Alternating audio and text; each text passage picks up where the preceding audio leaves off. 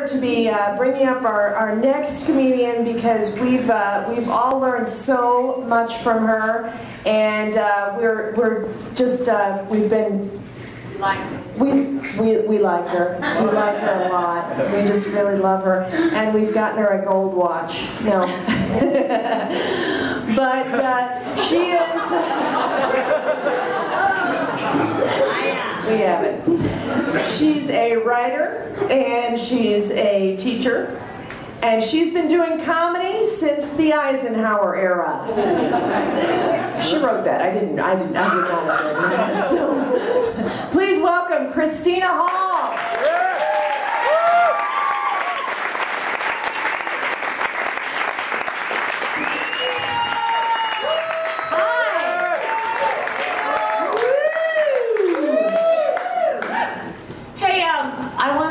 Round of applause for Andrea Vall, who's been working her ass off tonight. That's a hard fucking job. And then also, as well as being funny, and can I get a round of applause for everybody that you saw on stage tonight? We saw Joseph. We saw Alon. I'm a fave ever. We saw Josh Medley, the guitar. Could you sense the risk that people were taking tonight? Yeah. Could you be with it? Yeah. I don't know about you guys. You're like, you, were, pretty good, but there are parts where you're like, oh man, where is this going exactly? Can we see a map of where it's going before we laugh and regret it later? Oh my gosh, happy Halloween. First of all, I don't give a shit about Halloween, but I'm sure you do. Happy Halloween if you get dressed up. Woo! Do you do that? Really? I don't either. This is it right here. You're welcome. I have uh, I have like two ways of dressing. Either I dress up or I look like shit. I don't know. There's no middle ground at all. And I work from home, so I'm just in my house. Nobody sees me, right? So I just wear the same shitty clothes every day, right? So I'm not dating any of you, so it doesn't matter if I say this. And I live uh, I live in Evergreen. By the way, we never actually. There are people who actually drove down from Evergreen. That's a lot. That's far. There's like a vortex up there. When you're actually there, you don't want to leave. Everything just feels exhausting. I am a shut-in in Evergreen. I live like within a mile of Safeway, the dog park, and the coffee shop, and that's all I fucking need in my life, right there. And then I have this irrational rule of, of presentation, which kind of goes, if that if the drive is shorter than changing my clothes, it's not worth it, right? So like, so you're in luck. This was a good hour for me. So I put a little effort into it, you know. But like when I go to the coffee shop, I'm just wearing whatever I wore yesterday. I roll out of bed, I throw it on. Maybe I got a bra. I put on a bra and other things over it. And then I go to the coffee shop and hope nobody sees me, and they always do. I was actually in the coffee shop. This is true. I was in the coffee shop and I was standing in line behind this guy who was wearing really nice clothes. He had like a linen jacket on. Obviously, he was not from Evergreen. He had like a really nice jacket on and like slacks. They weren't even pants. They were slacks. Like Alon was wearing. There's a whole level up. You know. You know the kind of fabric that you just want to touch. Like it's just. I just wanted to touch it, but that would be weird. just touch it. Just touch it. And I thought, you know, I could never date somebody uh, who dressed nicer than me. And then I realized that eliminates just about everybody. so I'm kind of changing my dating standards. I'm not dressing up for Halloween. I'm not going to Halloween costume. I refuse. I don't like it. It's too much pressure. I have some painful Halloween memories. when I was a kid, my mother would make me Halloween costumes that were only scary to her. One year, I was melanoma.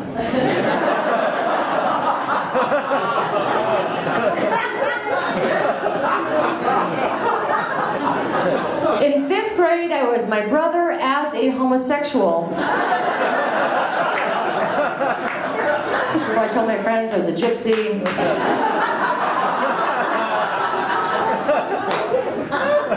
And I'd like to apologize to my students who have heard that joke over and over.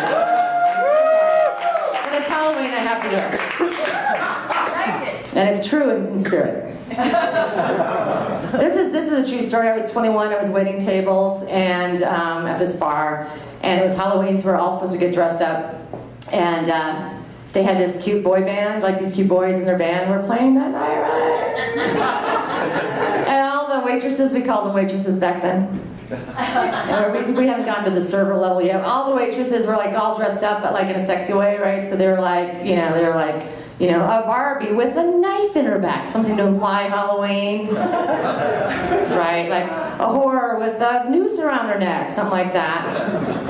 And I dressed as Mr. Potato Head. I didn't know the rules around that. It was an awesome costume. I had like brown tights, and then I had like these big, those big brown long leaf bags, you know, that I stuffed, and then like and I had like brown paint on my face and my arms. I had one of those little hats and those little, those little, you know, those little marks, marks, the little Groucho glasses. You know, it was awesome. But I learned something so important in my youth, which is that no one wants to fuck Mr. Potato Head.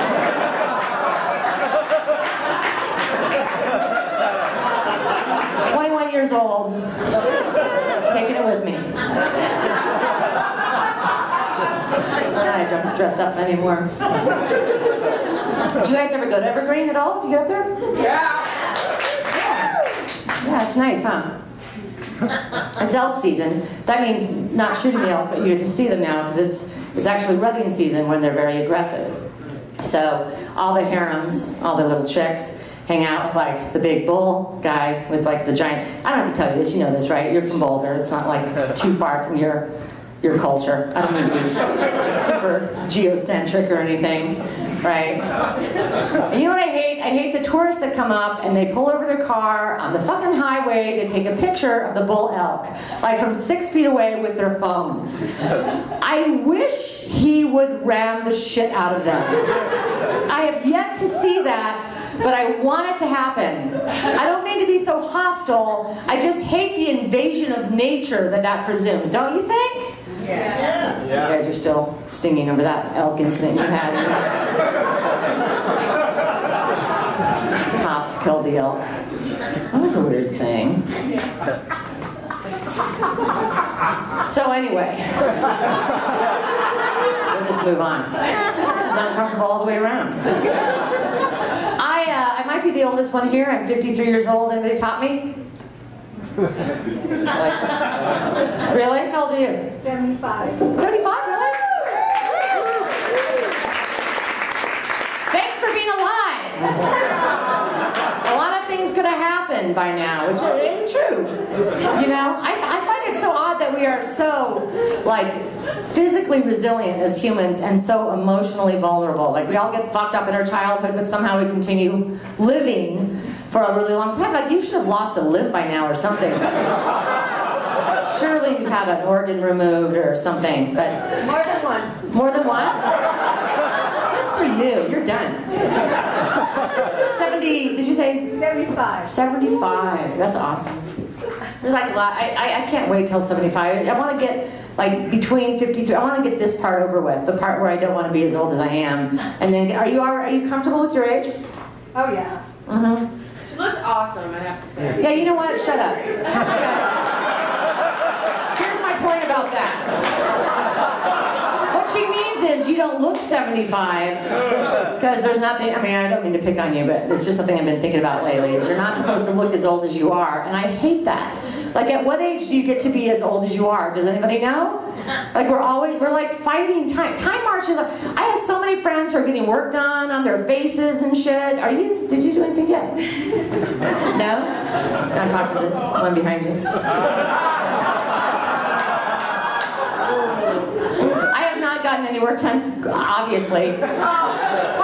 Is out of principle, and part of that is because I'm totally broke. I don't, and I'm afraid, like I really don't know where the line is between celebrating and enhancing, you know, what we love about ourselves and feeding our insecurities. And I don't know if I had money, I might be the cat lady right now. I don't know. I might just have them peel my face right off and replace it with another one, maybe an African American woman, something more interesting than this, than the fading Scandinavian lady. But I feel like I'm the that forefront. Everybody I know is like, and we're talking some powerful women, like this whole generation of powerful women who know that they can choose not to get married or they can choose not to have children, but they get to a certain age and it's like, oh. Suddenly it's like, I'm not reproductively viable. Which is the biology behind it. You're supposed to look, you know, reproductively viable because that's where, you know, biologically that's our value, is it not? Like one uncomfortable chuckle. I don't know where she's going. It's a comedy show, is it not? Look, look at the flyer again.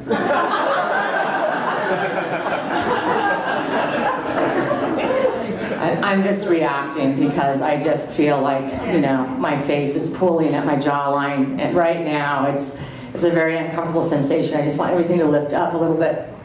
I just don't know when we're going to stop. I mean, how young is then young enough? Like, we're just going to want to look like in our 20s? Is that how old we're supposed to be? Or teenagers, children? Are we just going to keep going backwards as technology advances? We're just keep looking younger and younger? Try to look like babies, you know what I mean? you know? Put like rubber bands on our wrists to make it look like we have those little wrist angles that babies do. Suddenly we can be fat again. Those big ugly bows that people put on their girl babies so we don't confuse their gender.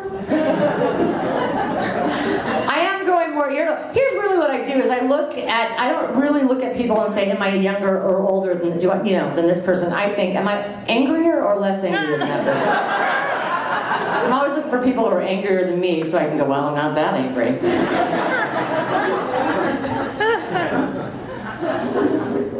I feel a little uh, irritable sometimes about um, uh, how we are as sort of this white privileged culture, middle class culture, which, well, we all are in this room. Is that not right? Because I, because I want, I have this great passion. I want us all to identify our childhood wounds, heal them, and then get the fuck over it. That's what I want. I want us to stop blaming our parents for everything. Are we not done with that yet? You know, like some people have some real shit they have to get over in their childhood, and I totally get that. But for most of us, they are like the petty little complaints about our parents that we carry on forever, right? Like I have a friend who's like, you know, we moved around a lot.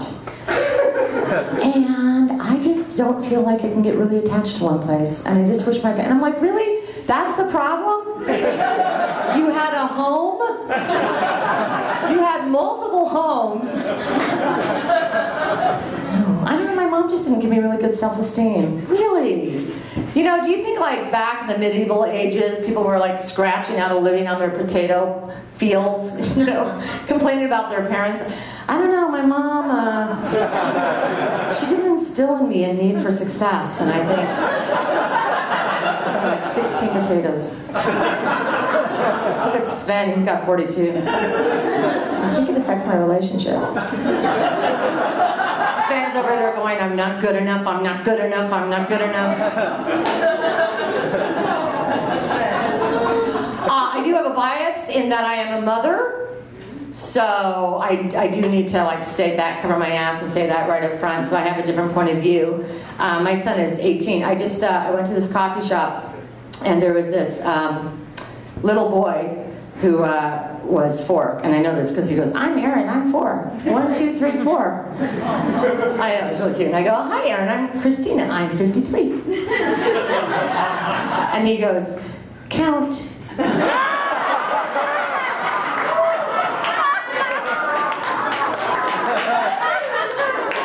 One, two, three, four, 16, 17. Took a long time. He's learning to tie his own shoes by the end of that.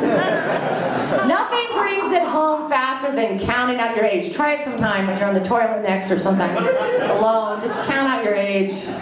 You'll remember every year will come back to you. It's awesome. Another time, this woman, uh, I was, I saw this. I was in the. I'm always in the same coffee shop, and I really am.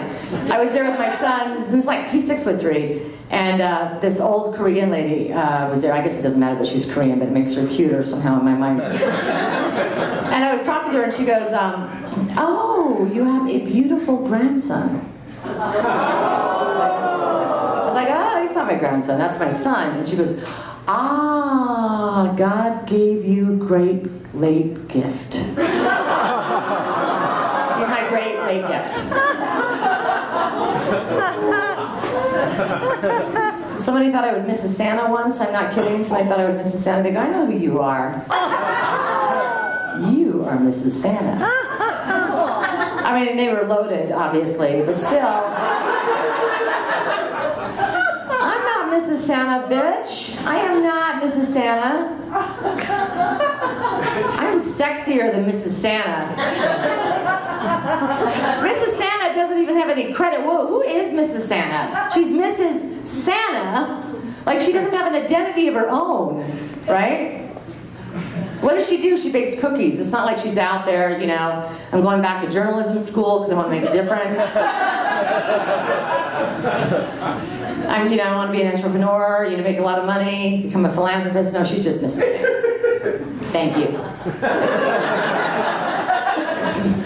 I am not married. I, have never been married, uh, which is kind of an anomaly. Anybody like me that's never been married? That's you know older enough to make that distinction. Is everybody here been married? Yeah, don't don't don't muster the energy to clap. That would be that's too much. I have uh, I have never been married, and I and I raised my son alone. I was a, a single mom. There was no father involved, um, so I had to be both the mother and the father, which really just makes me one angry mother. That's really.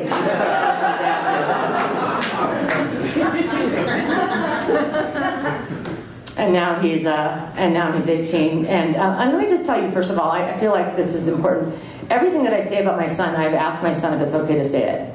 Like, here's the thing: that guy that guy is is such a deeply compassionate and thoughtful person, and he's really funny. I adore him.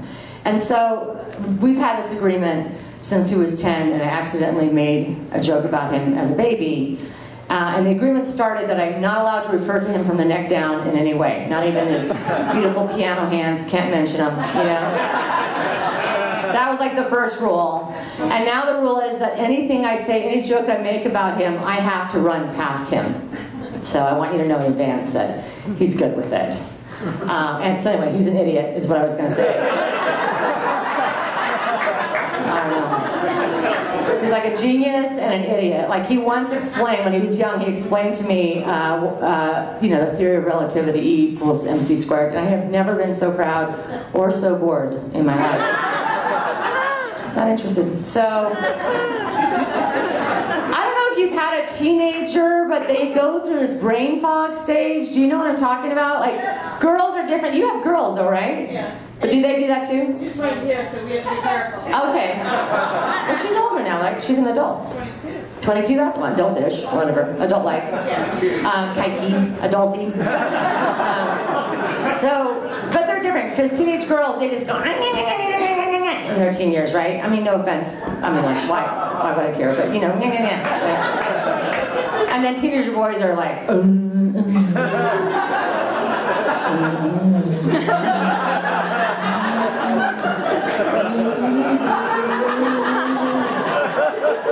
talking about my own progeny here, right? So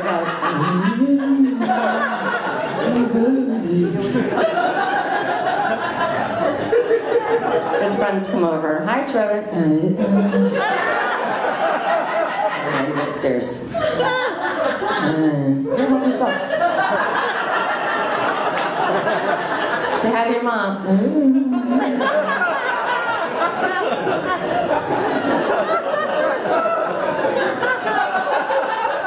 There are, like, honestly, there are the simplest household tasks that that kid cannot complete. And I do not understand, like, like a monkey could do it. A, a fucking monkey could do it. And not just a trained monkey. Any monkey, just pluck him out of a jungle, stick him in the kitchen, like Gibbon perhaps. A Gibbon in the kitchen. That dishwasher will be empty in three hours. And possibly loaded.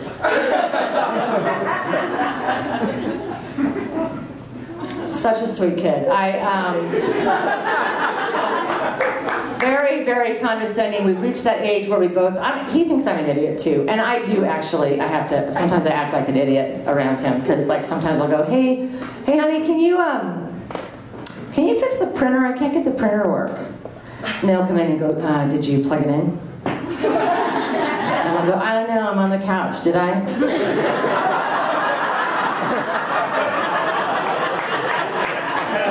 Do it then. Do it. Then press the button. Sometimes he gets so condescending though, it drives me. I, I'm not kidding. Like, like, like. Uh, recently, he sat me down to explain something to me, and he goes, "Let me just, um, let me try to put it in terms that you'll understand." right? Let me just lower my vibrational frequency to your low base level, so we can somehow communicate. So intellectually superior, and I realize developmentally, you know, it's well, it's what kids do. But still, it annoys the shit out of me. Does she, your daughter do that to you? No, never. No. She doesn't know more than you. That's why I get it, like it is, but it's still driving. I get, I get triggered by it sometimes. Like one time we we're in the kitchen and he goes, uh, and there's coffee spilled on the counter, like from the morning, right? And he goes, he goes, uh, mom, you know, normal people, they have like a towel right here. I know when they spill something, they'll just take the towel and they'll just wipe it up. Like that. That triggered me. I was like, you know what? You know what? You came out of my vagina. Face first, dude. If you can't outsmart them, just gross them out. He comes around the corner of the house and I go, "Ooh."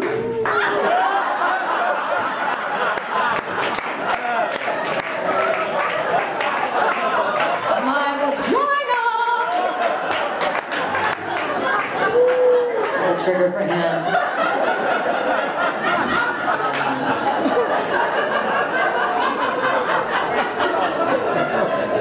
He used to just be so sweet. Andrea's kids are so cute. They're very cute.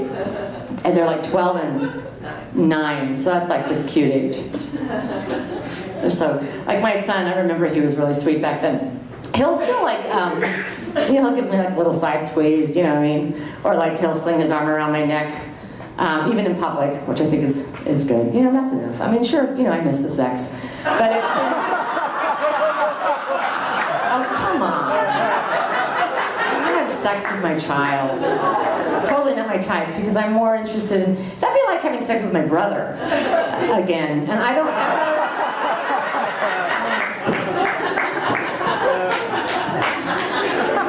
No, that's the one good thing about my family. We find each other repulsive. That's our foundation. Aren't you wondering what jokes my son said I couldn't do? You know?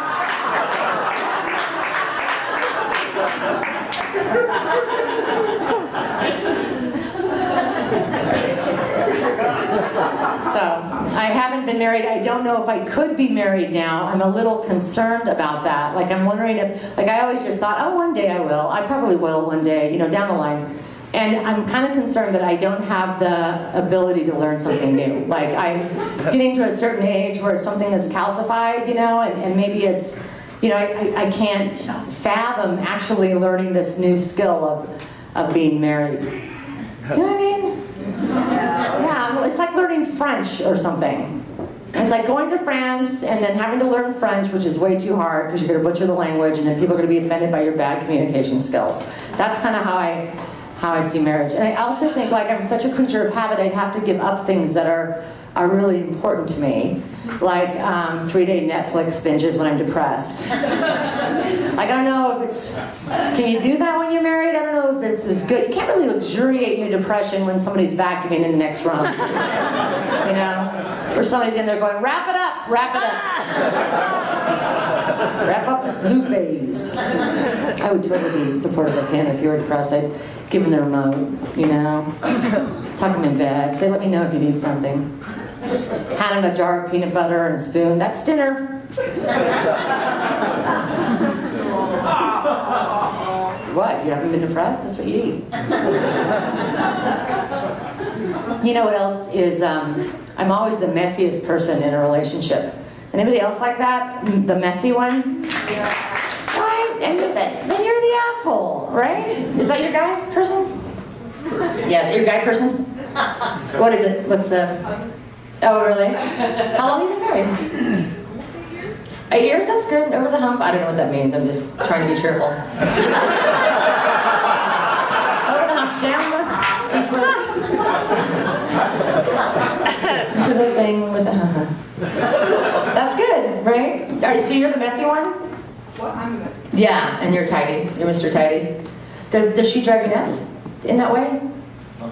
Sometimes you're so full of shit. You're just sitting there in the front row trying to be nice, trying to be cool or nice. Just sometimes, but you're pretty cool with it.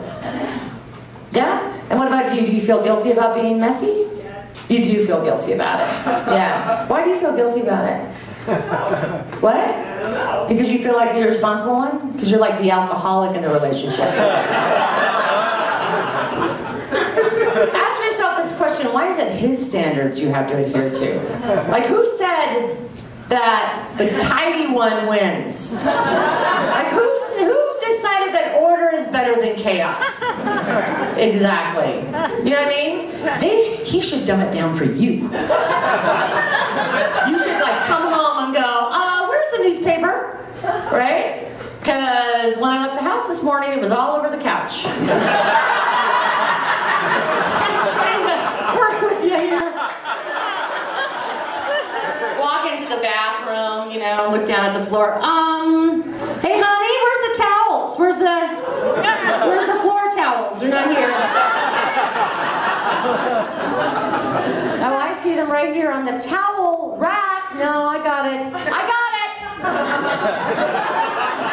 Just let it go. I've got to include all of him. It's all good. What's your favorite quality about him? He's very kind. He's kind. hmm That's no, that's really good. That is really good. What's your favorite quality about your? The same thing. You guys are, are like very compatible, boring people. But... No, that's thing, right? And really, what else do you need after that? I mean, you know. Maybe a couple things, but I mean that that's a good, it's like a really good foundation. I can't say I have no idea. I don't know how it works. I um, I went I started uh, this sort of dating binge um, like a year ago, and I really thought you know I'm just going to learn something new from everyone I date, and I'm just gonna I'm just gonna date as many people as possible, and then I'm just and then I'm just gonna like see what I learn from it. And I dated 22 different people, 22 different people, right? And here's what I learned nothing. I'm exactly the same person. I don't know. I don't know nothing. About nothing. At first, I was all excited about the man buffet. You know, I'm just going to date all different kinds of people, and you know, I am not interested in younger men. I am just, I've never been attracted to younger men. For me, they remind me of my impending death. I don't like that. You know, just by virtue of them being attracted to an older woman, you know, I don't understand why that makes me. That makes me the older woman. That's like not the sexy one. That's like I don't want to be the older one. You know, I want there to be some other reason. Although, you know, I don't know. Like if a guy was like, you know, I really, I'm really attracted to older women, then I could go, well, really, because I can't remember shit. How old I.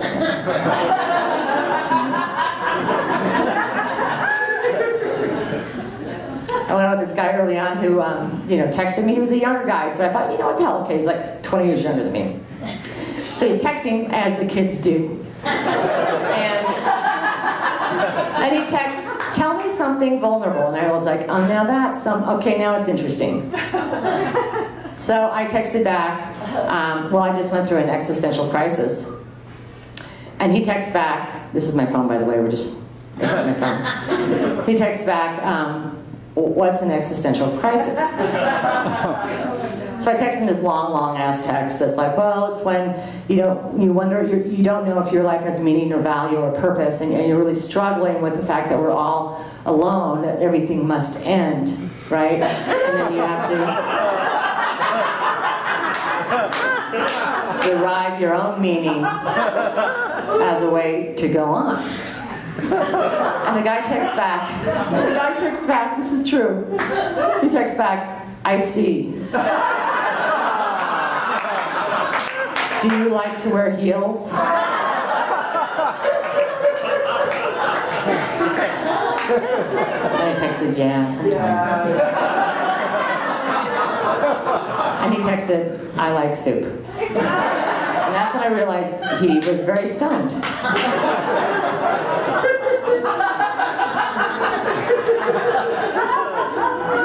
The mo- most of the men I dated were about my age, which is which is my preference. I'd prefer to share the same stage of life, but a lot of those men have gotten out of really long marriages.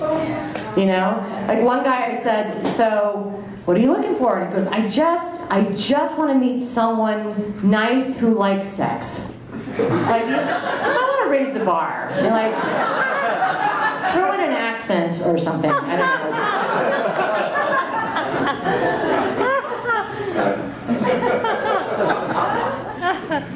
It was so exciting. Where's Joseph? I, I'm sorry to interrupt the show, but what the fuck time is it? Done. Pardon? You're done. Okay, good. We're coming in. Did you flash the light at me? Yes. I did not see it. I'm sorry. I have really bad eyesight. That's why, like, when I go in and get my nails done, because these look good, I have no idea. The, the Vietnamese ladies always look at me and go, "You need your eyebrows done," and maybe I don't, but they know I can't see, so cannot see even a flashing light. I, my eyes just absolutely suck. I'm, I apologize. I'm sure you're very attractive people. I can I sense an attractive nature. A little withholding, maybe a little withholding. Attractive, generally speaking. So when I first started dating, I got this. Um, it was kind of exciting to talk on the phone to guys. It's like being a teenager again, right? And I found myself like using my my uh, flirty voice on the phone. I didn't want them to know what I really sounded like, like the way I talk to my son, you know. So I'd be in my house and I'd be like, "Oh, um, oh yeah, oh I love Peruvian food, mm, and the people." Hold on, just a second. Jiggle the handle. All right, I'm back.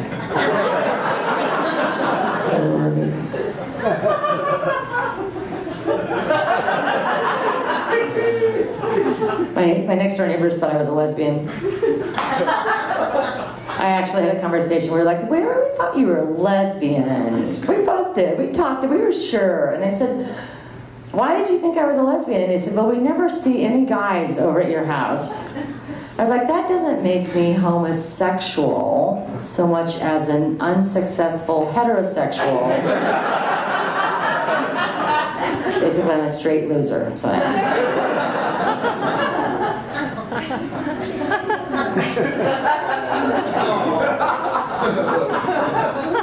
So I, uh, I would get on the phone with these guys, and um, I, uh, I found that you know conversation went to sex pretty quickly, as it does, right? Just doesn't take very long.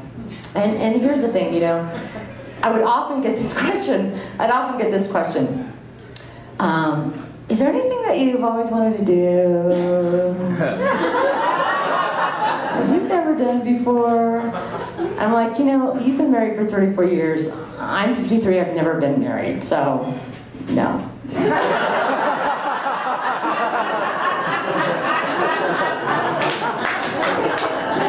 That's what I wanted to say. Actually, I wanted to go, um, do you mean sexually?